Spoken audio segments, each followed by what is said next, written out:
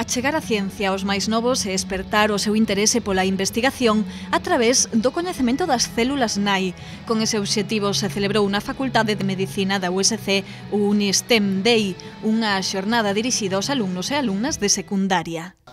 Podría despertar non só o interés por la ciencia, sino despertar pues, posibles mm, vocaciones futuras de científicos, de investigadores, que seguro que algunos hay entre vosotros que acabarán Mm, dedicando a vida a isto. Ainda teñen pouco coñecemento sobre as células nai, pero algúns dos estudantes xa teñen claro que si lle gusta a rama da saúde.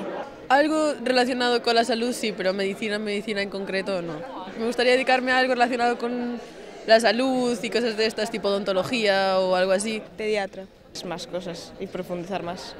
Outros pensan que isto da medicina non é o seu. No, eh, cuando estudio probablemente coja una ingeniería más que una rama de la salud. Como cultura general está muy bien esta experiencia. Yo la verdad soy más de biología y ese tema. Lo de la salud a mí...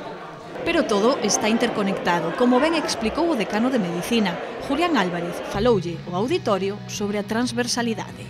Vais a cuidar de nuestra salud.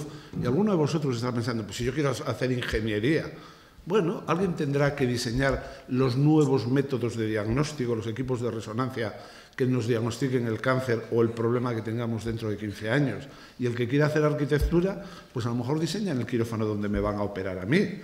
y el que quiera hacer filología inglesa le va a enseñar a nuestros médicos inglés para que aprendan de la bibliografía internacional que es en inglés. O Unisten é un centro de investigación de células nai italiano que dende 2009 realiza este tipo de actividades divulgativas entre os máis novos.